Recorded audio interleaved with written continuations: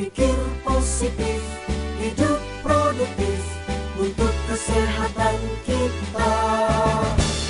Rajin olahraga, konsumsi gizi seimbang Rutin cek kesehatan. Selalu pelihara kebersihan Demi Indonesia sehat. Ayo mulailah hidup sehat Awali dari kita Selalu berkarya Terus semangat sehat